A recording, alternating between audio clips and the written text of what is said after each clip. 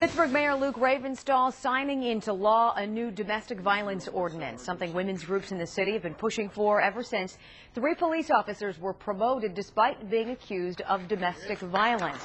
The ordinance requires officers to report suspicions of domestic violence and allows the chief to avoid hiring officers with histories of that kind of violence. But as Channel 4 Action News reporter Marcy Cipriani found out, there's a call for more to be done.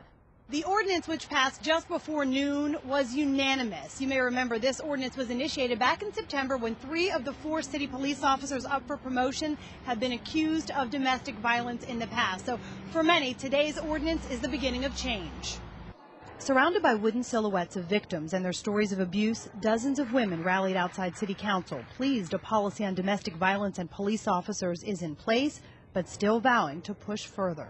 We got a lot of work still yet to do, but this is good. A good first step, according to these women, but not enough. The new ordinance voted on by City Council today allows officers involved in domestic violence to lose their service weapons, which is what this group has been fighting for. Only the decision on whether to take the weapon will be left up to the officer responding to the domestic violence call. We shall seize any weapon used to threaten or be used in the commission of the offense. That's if the responding officers find probable cause that there's evidence that some sort of crime of assault or of type of domestic violence crime has been committed. That discretion is what these women now say they will work to remove. It does disturb us somewhat because we don't want discretionary language in it. We want clear and objective policies and procedures in place.